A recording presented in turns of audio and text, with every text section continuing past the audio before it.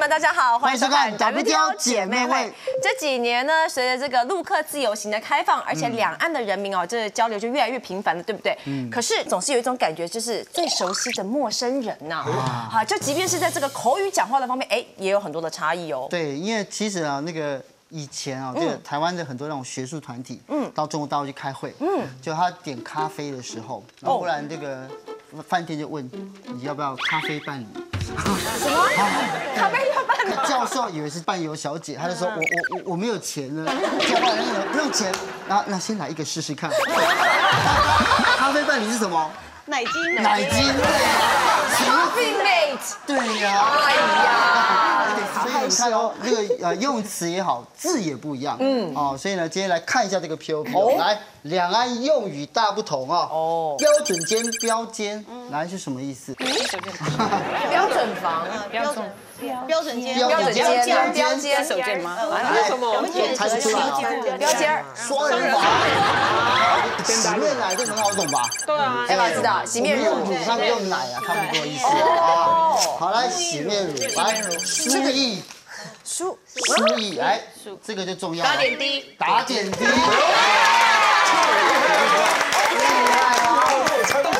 酸奶。优格，优格，优格，优格，优格，对，对吗？啊，对。来，紧张。什么？紧张就紧张啊！紧张，紧张不是紧张的意思。来，憋尿，可年纪年纪不一样，紧张。来，移动电话，手机，这很简单嘛，对不对？对，行动电话，就一个方便面、胜利面，泡面这个算简单的，对不对？这算简单的，哎。泡面跟素食面哦，哦，这个只是词的不一样。这个奶就有争议了。我的朋友到了东北，然后呢，他就有那个韩式的按摩，哦，东北都混在一起的。然后他按摩按摩按摩的时候，那个小姐问他说：“你打不打奶啊？” 对对对，会很痛吗？一点都不痛，那会变大吗？什么是变大？所以弄了半天，他是在他的身上。打上打上那个奶，牛奶浴的让牛奶浴，让皮肤更光滑。对对，所以他第一个反应太好笑，会痛吗？对，因为现在呢，全世界哦，听说外国人啊，根要根据联合国调查，每天有四千万人在学中文。每天？对，有多少人学台湾的中文？答案是一万两千五百人，很少，所以台湾现在已经慢慢变小众哈，是，所以慢慢的两岸的用语就慢慢就出现了差距了啊，对，也会造成一些困扰，对不对？对，所以我知道水晶你有去中国大陆留学过，对不对？因为一般在韩国，如果你想要学中文的话，我们都找东北三省出身的老师，因为我们都认为东北三省的老师们发音比较标准，就没有像。北京人那么一直呃呃呃这样，然后也不像台湾都没有呃这样。对啊。然后我那时候诶已经学好之后去大陆当实习生，然后就是要练习中文这样子。然后我在韩国已经拿了这样的证书，一个是大陆的，一个是台湾的，最高级的哦。最高级的。厉害厉害。一个是汉语水平考试。一个是华语文能力测验，就是一一个是大陆的，一个是台湾的，已经都考完之后去那边就是当实习生。我刚来台湾的时候，第一天就是当老师就当工作，然后我要找我上班的地方坐计程车，跟司机说，师傅，师傅我要到幺零二附近，幺零幺就是我们台湾的骄傲嘛，幺零幺。对，跟他说，你这脚好讨厌，你怎么可以这样讲？再卷吗？再卷吗？你。然后他说：“小姐，你从大陆来了。”然后我一听，小姐已经不舒服。哦。我在学习很标准的汉语的时候，老师特别跟我说，在大陆根本不能说“小姐”这两个字。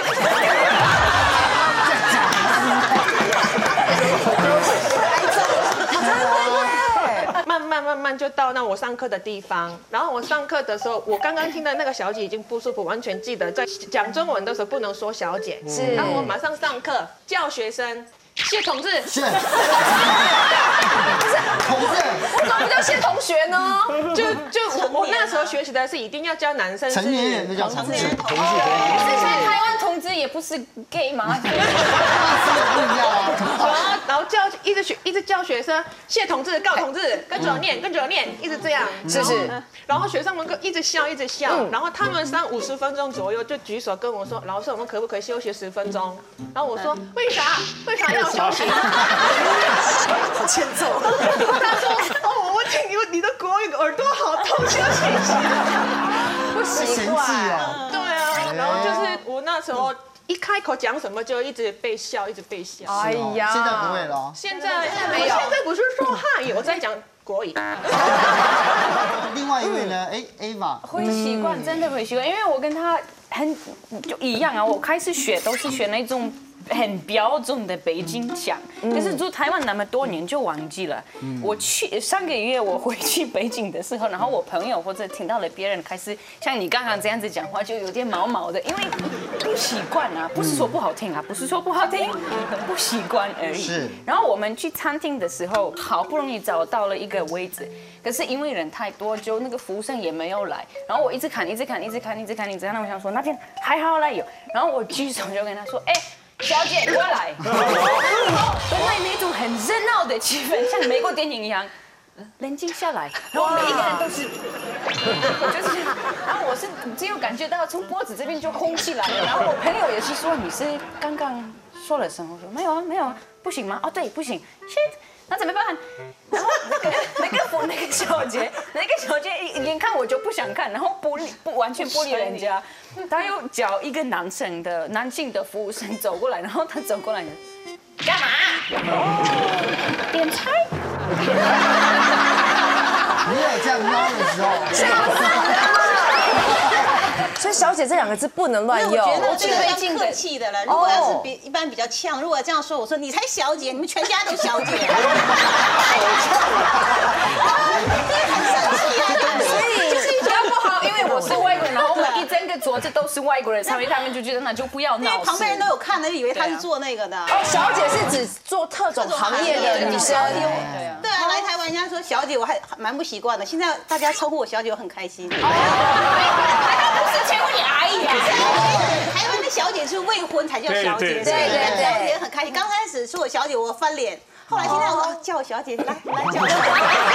所以如果说不能叫小姐，可以叫姑娘，或者是有什么不一样的美女，美女。最不会得罪人，就是这种。哦，满街都美女。而且一叫，我觉得满街都回头。哎，好自然哦。可是刚刚一开始的时候，水晶还有讲到说，他们学中文都特别要找东北三省的。东北也有差，哎，那我觉得黑龙江省的说话就比较好，再其次就是吉林省。姐妹要翻脸的了。，因为沈阳因为靠近，你看像大连，我们就是其实东北人都知道大连就是有一股叫海蛎的味儿。就是靠近海边，说话比较拐弯，那个口音非常重。其实我们两个也也是我比较标准一点。前面你抢一下，哎呦，然后真的，我们看我们最典型的看一下那个小沈阳的微信，是吗？那天我就背我的小包，朋友们哈，我家东北的沈阳那边的有一个小小老妹儿，就是小妹子，长得可带劲了，长老漂亮了，能有十七八岁的激动了，问我，哎呀妈哥，你是不是《超人传》那小子？你叫小沈阳啊？我是怎么的？哎呀妈哥呀，你说我瞅你长得哈，就是有一种大海的感觉呢。我说老妹儿，你会喜欢我呢？我说你是爱上我了呢？这老妹儿说话老气人了，哥呀，你别误会，我晕船，一看这大海吧就想吐。就是那种典型的这种味道，是可爱的，对，就是你，他没有讲什么，其实都是在陈述一件事情，但是就是很好笑。东北人真的也喜欢吹牛，我自己东北人，东北人都觉得自己讲的很标准，但是东北人呢，不管哪一省的，讲话他没有支吃诗的分。他说我跟你讲啊，那个那个这个事实上啊都是这样，都没有事实上。对，这是东北人的的特色。现在人家宝宝他说他们他们吉林比我们标准，没有没有。刚才化妆师他给我讲东北话，跟人旁边没有人听懂，连我也没听懂。真的，对，其实沈阳人讲话还挺标准，只是喜欢有乡音。对，因为我是喜欢保留一点乡音。OK 其实我们讲话很标准呢，我可以模仿一段央视新闻联播啊，让大家证实一来下。啊！各位观众，晚上好！今天是二月二日，星期二，农历二月初二，欢迎收看新闻联播节目。今天节目的主要内容有：全国妇联发布《老公岗位制度规范试行条例》，详细内容有：一要热爱老婆，坚决拥护老婆，绝对服从老婆的领导；二严严格遵守作息时间，准时做饭，严禁迟到、早退和降低服务标准。以上条例将由一月一日起实行。各位观众，今天的新闻联播节目播送完了，感谢大家的收看，再见。哎呦，蛮好的，张姐觉得呢？标准。呃，如果要照央央视的标准是还不够的。哦对你比方说，他说二月二十二日，二月二日对他那个二讲的更大。他说今年是幺零零二年二月二十二日。强化二不是，他们喜，我这北京的朋友就问我，他说。为什么你们台湾人说二的时候都说二二是什么意思？二二什么呀？是二。二，所以是二。对二。东北人讲我们南方的，其实像我们四川听不讲太快了，我们都其实听不懂。对。不是因为你们四川，我们刚才完全听不懂，一样的。四川跟湖北的也是还蛮接近接近的，对。可是我们也是完全听不懂啊，因为他们有方言，他们的方言跟我们我们的方言大家还多少听得懂，他们的方言完全听不懂。我感觉回到了文化大革命斗争大会。这样子对我们来说是心情很舒服，因为我们听不懂 就没关系，你们也听不懂啊。很爽，很爽。那我们德国念中文的时候也是一样，我们的老师全部都是从大陆来的，然后他们也是叫我们卷舌。然后刚开始我到青岛，然后青岛好像更会卷，所以你现在会卷吗？我已经忘记了。然后到了我我要八个月，我本来是有一年的时间啊在那边，然后八个月我就比较受不了，然后说我们就打电话给我们德国那个教授，我说哎我们想去台湾可以吗？他说没关系，那你们这边不喜欢，那你们就到台湾看看。那我一到台湾我就看，哎第一个那个简体是变繁体字，我就觉得有点哦。然后有点后悔，什么都看不懂，就变成，然后人家我跟人家讲话了，说，哎，你你是不是从大陆来的？然后说，嗯，怎么怎么知道？对啊，你卷是好像像大陆人。然后我在这边开始，我的习惯，我觉得，哎，这样不错。你看，还要学那什么直直直直，什么都是是是是是是是是，我说，哎，多好，对不对？我就我就很喜欢了。然后到了时候，我们这边念完了，回到德国的时候啊，就是要呢还要再念个两年嘛。那到了德国，我教授，然后他就跟我讲是，哎，阿福，我现在听你讲话，我有点后悔，那个时候会叫你去台湾，因为你的你的齿道好像叫不起来，什么都变话语不见了。对啊，所以到最后我真我发音也不标准，然后我练中文那个简体字跟繁体字我两个都不会。我到最后，我我去那个呃德国那个卢斯堡去上班，然后我的工作就是那个 purchase 嘛，啊我从亚洲可能台湾、大陆跟香港，我从那边买东西进来嗯，采购。然后采购对，然后我要跟跟一个香港的人在那边，有时候在聊天啊讲话，然后呢他是要来拜访我们，那我跟他讲我们地址在哪里，要跟他安排好了。然后到时候他到了我们的公司，然后跟另外一个同事讲说，哎，你们这个台湾人在哪里？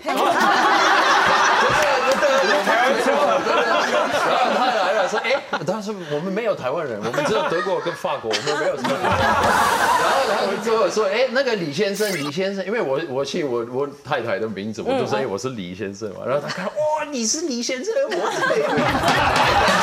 好笑哦！真的。天哪！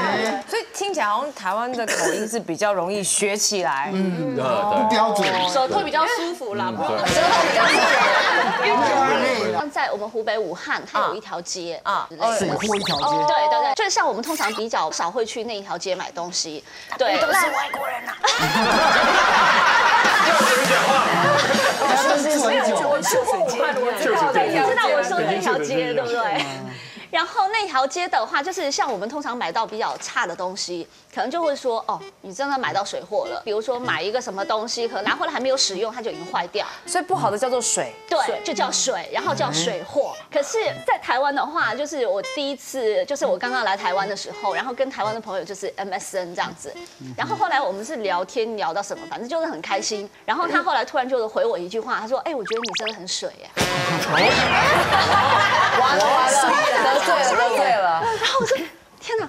我我有得罪到他吗？嗯，然后我就有翻前面的记录，我说没有啊，我们聊得很开心，你为什么会突然说我很水？水哦，谢谢水晶，对哦，谢谢水晶，水哦，对，是台语来的。那小朋友被人家讲过水呢？对，常常。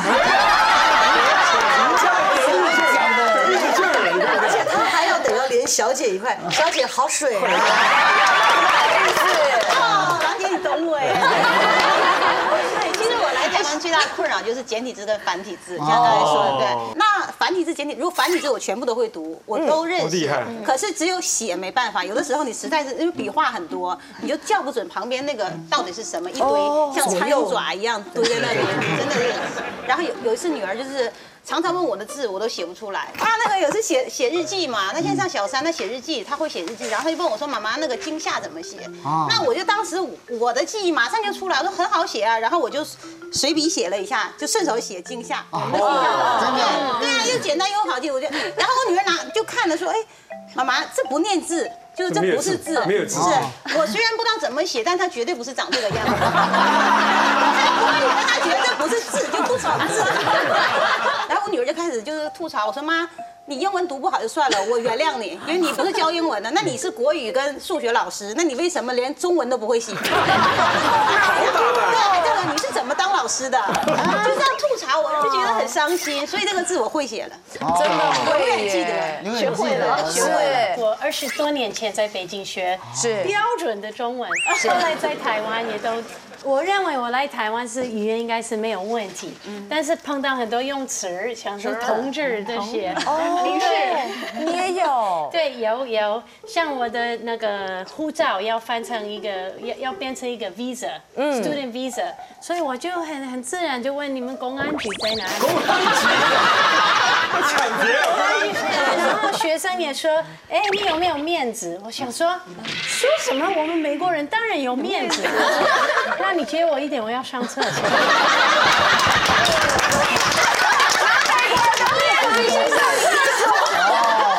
那这次最近我有机会回回大陆啊，所以学到一些新的。然后就像这韩国人在大陆都是朝鲜族，但是像你们南海，你们叫做高丽棒子。我 最后要讲一个最精彩的，然后那个星星说呢，工商 公车上的司机是最标准的，哦，没错儿，没错。啊。现在北京的塞车很严重，所以那个司机的脾气很很糟啊。然后我二十多年没有听到这个很亲切、很温暖的词儿，骂人啊，他在骂人，对，那边塞车很严重，他把那个窗户打开说，你这个傻逼。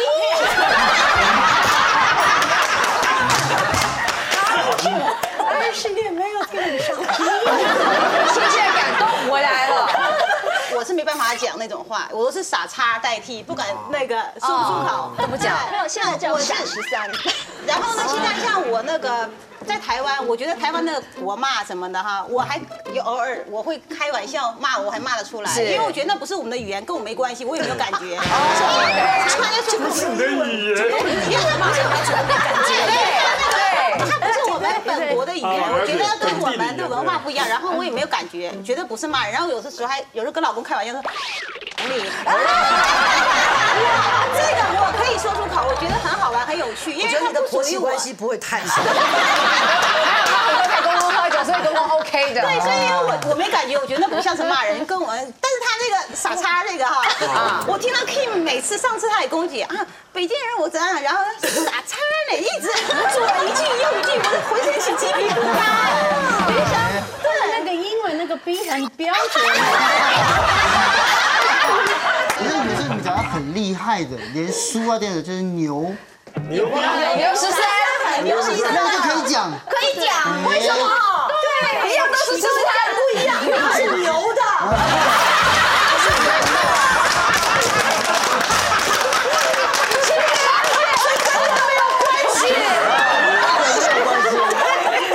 好的，我了解了，牛的不一样。你 一定要在上面吗？你再换一个话题吗？环境呢，来比较一下，因为呢，我们这边啊，一半是来自于中国的姐妹们，另外一半呢是去过中国，都去过中国对，去读书的外国朋友们。举牌看看哦，你觉得哪一边的比较好？哪一边比较好？阿福、水晶、Kim 宝宝都觉得中国好，是其他人觉得台湾好。可是一半一半，对对，票数是一半一半一半，一半哦。理由是什么呢？因为大陆的它的教育资源分配不均，嗯，然后城市呢就特别的好，城市啊有些很多的学校，电脑对资源比较多对对，什么设施都很齐全。可是，在乡下呢，有一些学校连课桌椅都没有，它就是一个木板，然后搭着那个砖头，有些连电都没有，就是对，连我们有时候自己看到都不会相信。所以就照着天光这样在读书上课。对你像我们来台湾以后，我们走过很多地方以后，我就看到像在那个复兴乡那个山里面啊，有一个。百百吉国小，百吉哦百吉国小，对对，它是一百多年了，我就觉得哇，不可思议，里面校舍那些都很齐全啊。然后我们到南头去有看个那个内湖国小，嗯，哇，那个简直是非常的漂亮啊，对，很多人去旅行的都要去参观，就不可思议。所以我觉得这个教育啊，这个大陆真的是差很多，哦对对，这硬体上，城乡差距大。对对对。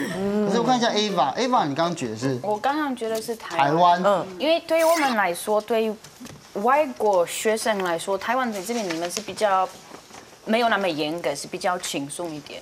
因为我去大陆的念书的时候，我一到学校都要报告，不是都要填很多的文件嘛。然后他们给我说，好，那你的那个宿舍的房间是怎么样啊？然后宿舍的规定是怎么样怎么样？然后就说停啊，嗯，先先看一下。宿舍，我没有跟你们说我要住宿舍，可是你是外国人啊，你没有别的选择呢。哦，怎怎么样啊？而且你们所有的外国人有一个固定的宿舍，哦监控你们的。真的。然后那个问题就是，这个宿舍跟一般的宿舍价钱是差大概四倍。你们不能煮饭啊，你们的那些什么东西都不能带进来啊。然后晚上十点，他们的门是关的，你不能出去。然后对什么意思？这么严格我，们也这样，我们也十点关门好不好？关灯。就是你们拿我不要住宿舍，因为我觉得那个价钱太夸张，我要住外面。那你先去跟我们的那个教授，跟跟那个引导，你先讲一下，然后他们给我讲那些噼里啪啦的噼里啪啦那些那些所有的单身啊，然后想说啊哈装到了，不好意思，我已经结婚了。然后他们后来，然后你结婚多久？十天，就是还是算，还是算，闹了很久。然后我当天跟他们说，我不论怎么样，我不会不会住这边，我一定要外面住。然后呃，从大陆回到台湾之后，我还是一样要报告，我要怎么样怎么样。然后我一进去就马上想起来了那个大陆的经验，然后跟他们说，那那个宿舍我真的不要。然后台湾的那边的那个新民宿舍，什么宿舍？我们也没有给你要。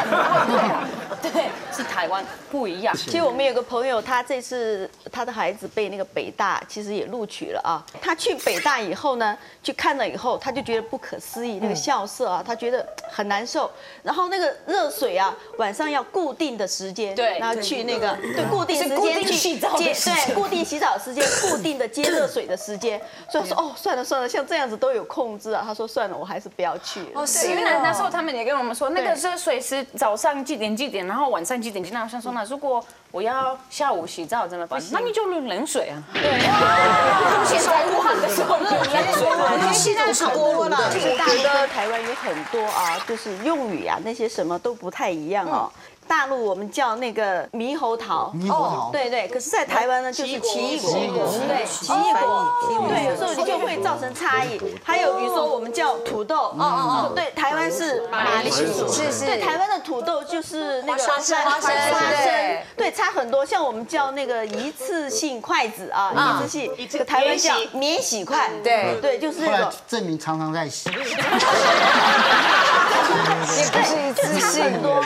对，像有一次我去那个市场买买青菜啊，买青菜我就指着呃一个青菜啊，我就指着这个青菜啊，我就问老板这个青菜怎么卖啊？当时老板呢就正在数钱啊，然后抬起头来看了我一眼，大陆妹啊。哎，我说难道我口音有这么严重吗？没 怎么一开始不像哎，哎，不是啦，啊，那个大那个青菜叫大陆妹了。哦，我说原来是这样子。青菜可可以，你们大陆叫莴苣，生菜，莴苣生菜生菜，加细细白白的，很嫩，而且你烫过以后 加点热油，不要强化细细白白的。口感很嫩啦。但我觉得我觉得所有的一个品种，对，但也有人叫它广东生菜啊。对，一般的是生菜内一般在内地就叫生菜。那我们就有一次带台就比较好笑，就客人说，哎，上了菜说，哎，小胖，你再去点个青菜好了。他说，个服务员来，他说，哎，那就炒个大陆妹吧。先生，全部都大陆妹，炒哪一个？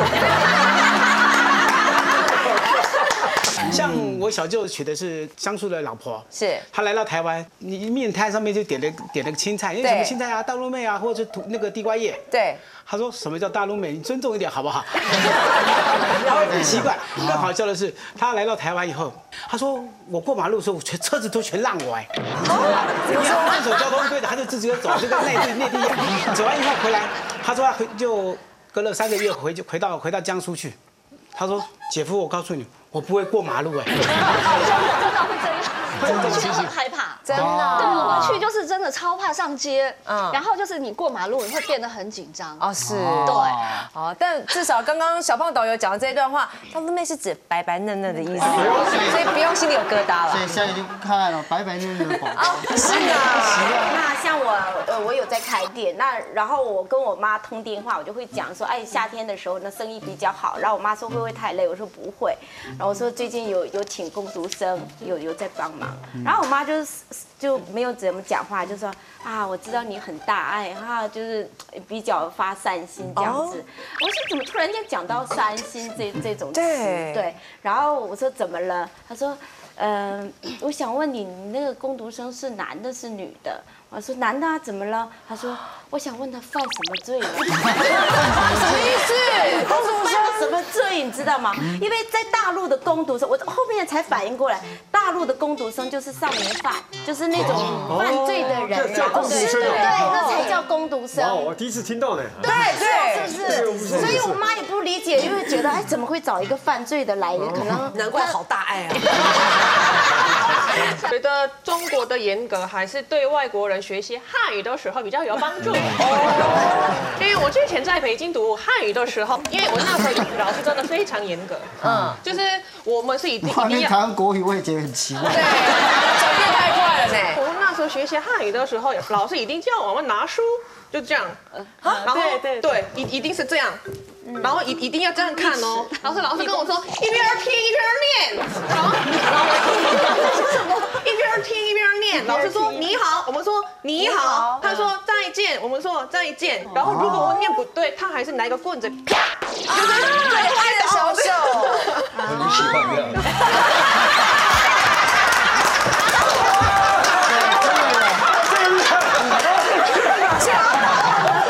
对，我很喜欢被虐待，习中文就很有进步。对啊，然后那那那时候老师很，可是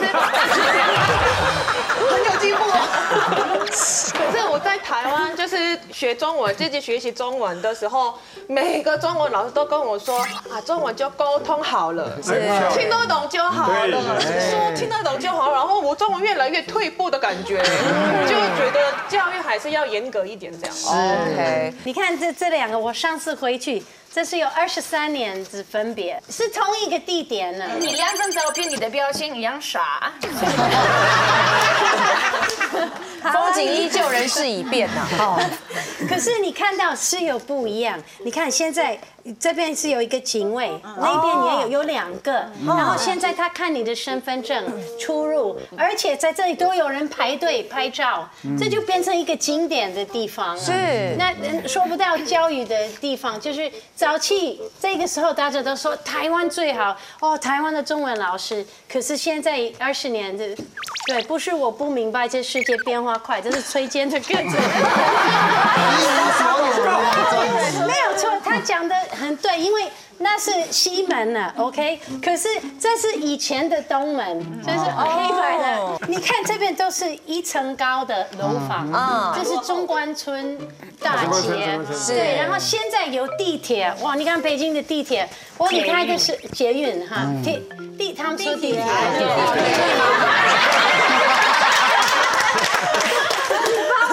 哎，我真的放冷枪。反正就是说那个时候是没有什么地铁，现在有出来呀、哇，真的都是好像美国的西谷啊，都是高楼大厦，对。全部都是科技公司。因为你知道吗？我到里面也是跟一些朋友讲话，他都很会吸引国外高才的老师，是。知识分子。对知识分子，对对对，所以我觉得所以你喜欢现在的北京？现在的北京，呃，大学。有好有坏，但是以教育来讲，北大哇它的师资是融合国际的这样子，对对非常国际的。当然，读完书之后，其实还要包含到工作的阶段，对不对？如果是以工作环境来讲，哎，除了阿福一个人是中国之外，全部都是台湾了。是啊，几乎是一面倒了耶。呃，我是不是选错了？没有，那我想知道原因。应该看看是要找什么工作，可能教那个英文老师，可能台湾是不错的。但是你如果要找比较专业的工作，当然外国人在这边在呃国际公司找工作，我觉得台湾很难找。对，实话。德国跟中国大陆他们的关系很好，所以在我们那个德国的那个就业服务中心，它里面它有专门帮你介绍到在大陆的德国公司。嗯，所以我那个时候我要搬回来台湾，我也是在那边找工作，然后我一按什么台湾的什么什么什么什么都是零零零零，永远都是零。大陆一堆了，你要去大陆哪一个城市，你要什么什么，你的你的职业是什么，你那边一定会找得到如。果你现在去大陆找工作，你觉得你现在好找工作吗？我觉得好找你。现在还很还很好找，我觉得还好找。哎，所以即便啊已经年纪这么大的意思吗？我说出来没有关系。再一个更难堪一点的哈，那比方说，我先生以前在的那一家外商公司，那个外国人的公司，他们是能力比较不好的主管才会派到台湾的，老外。这段这段不适合播出来。被讨厌，没有没有 这个没有我觉得这个就是该讲没有，因为我我也在做儿童节目，其实我很担心哎，我们的孩子现在叫填空题，嗯，就是你给他告诉他答案，哦，答案是这样，你为什么为什么是这个答案呢？嗯，不知道。不知道他完全没有企图心啊，这是真的很令人担心我呼应这个话题，二十年前丁肇中博士啊拿到诺贝尔奖的时候呢，他有应征，因为他是中国人嘛，他是台湾长大的，嗯所以他当时有个心，他成立实验室，两岸都考，考内地的学生，也有考台湾的学生，都最是优秀的。考完之后呢，他用了内地学生，人家就问他记者问他，你怎么会用内地学生？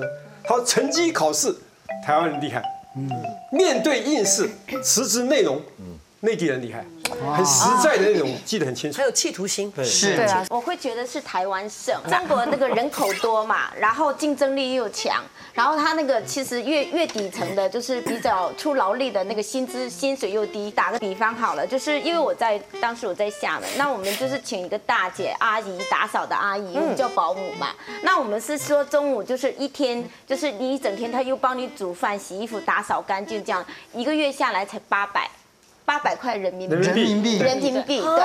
那你看，呃，那我的朋友是有一个是嫁到台湾来，他也是做打扫，他一个小时是三百五到五五百对。差不多差不多。按小时来算，对。是所以你看，你你同样付出的劳力，但是在台湾我赚的那个回报率就比较多。哦，还有一个，我讲个最简单的例子，菜市场传统菜市场，是。像我们我们大陆是一整天都会有。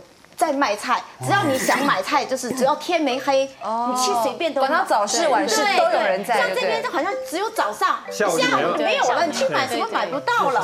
礼拜一还是公休，礼拜公休你对，你看休市，你看连卖菜的都有休息的时间。卖菜，内地的卖菜没有休息的吗？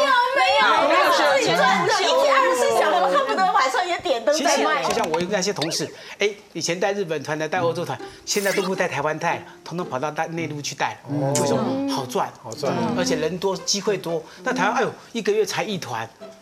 像哲青以前，就像我们知道，像哲青早就说，以现在他这种努力到大陆去，我看不得了行一个月一个月三十天，他要带三十一天。不是，那其中有二十八天是为了看他。是真的。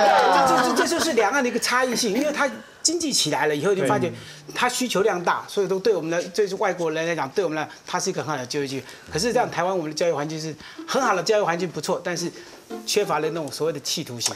我觉得我们应该郑重的呼吁领导人物啊，台湾的领导人物是。真的要正视这一块，内斗越来越落后。对。对对而且在在在大陆的这些大学，知名的大学，他们现在都是跟国外的大学在合作。对。是啊，对对啊，台湾为什么没有人要来跟台湾合作呢？我们的大学行之有年，而且对不对？大家都自己觉得很优秀，跟你讲没有人要跟你合作啊。对。对，，就是下一个我来比较一下哈，两岸的那个学生还有人民国际国际视野，对，国际观。来看一下，嗯，你们觉得哪一边的比较强？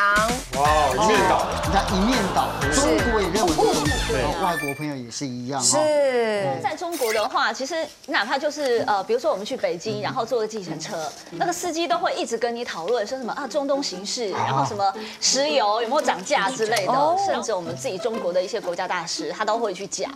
可是，在台湾的话，我真的就是把新闻台当做八点档来看。没错，形容的很好八，点档还精形容的很彩。好。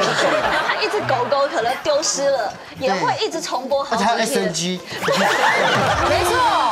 像早期我在北京，有些人会讲外文，可是都是俄罗斯的语，啊苏联话，对对啊，英文根本没有。那这次我去了紫禁城，哇，好漂亮！对，然后最再假 一点。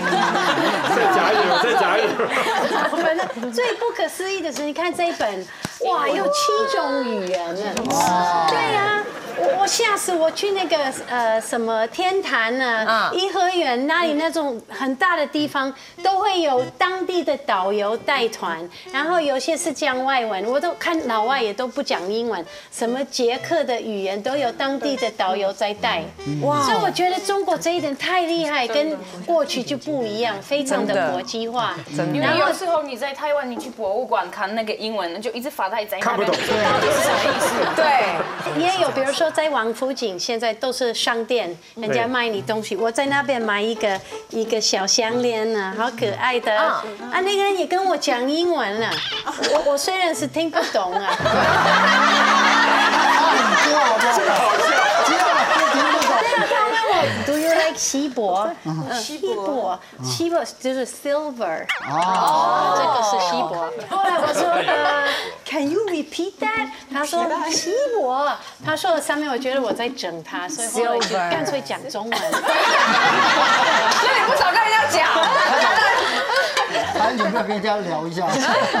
好，但至少他很愿意尝试努力。对对对对哎，讲到这国际观，哎，红姐你有话要哦，讲？是。对，因为我是做媒体的啊，那我来台湾以后，感觉最深刻的就是台湾的媒体，就是跟大陆的媒体界就是两回事。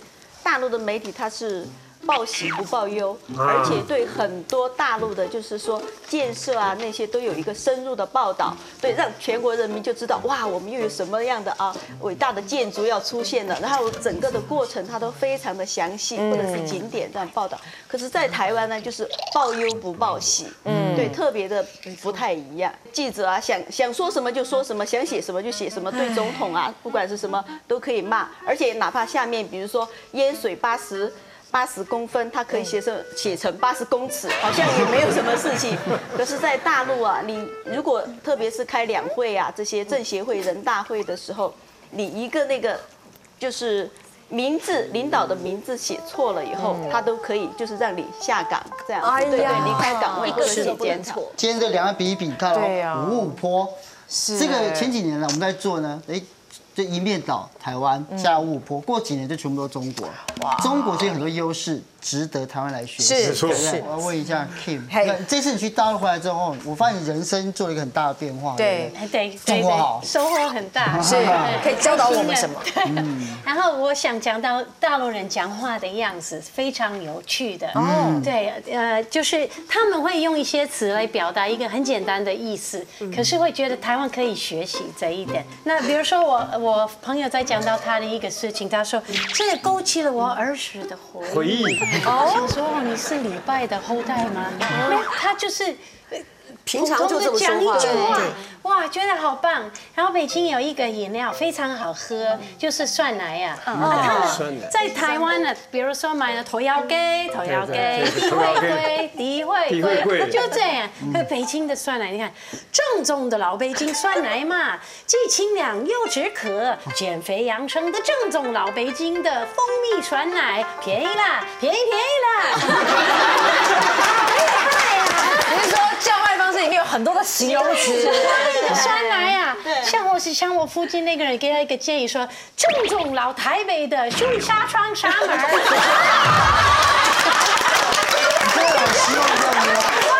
子当蟑螂啊，对不对？换玻璃看得一清二楚，便宜了，便宜了。就是你要把那个功能整个全部都讲出来，大家就比较建议购买。对台湾的形容词比较直接，小火甲、头油给、头油给、小火甲，这个很直接，你就比较有有意义，对，要。直接点出来功能性在哪里哦。好我问一下红姐，就是刚开始的时候，我以前公认大陆的就是假的东西非常多嘛，还假烟、假酒、假味精，假医、假药、假郎中，还假书、假画、假古董、假兵、假官、假学生，这么多，很多假的。像有一个老农夫嘛，就说去买那个种子来播种啊。种下去以后呢，一个礼拜就没有苗头啊，他就知道哦，买到假的种子了，伤心欲绝，然后就去买一瓶农药啊，要喝要自杀。对，结果喝下去呢，喝不死，死后来呢，全家就很开心啊，说爸爸死里逃生了，回来，结果我买一瓶酒来庆祝一下吧，全家死，就喝下去了，全家死光光。对，可是现在呢，大陆不是，你看说吃动物怕激素啊，吃植物呢怕毒素，对。吃农药嘛，喝饮料呢怕色素啊，吃什么心里没数啊，可是现在我们在台湾，你看最近啊。都什么？就是这些油毒油品啊事件对，我们就发现是不是大陆的地沟油的技术已经到台湾？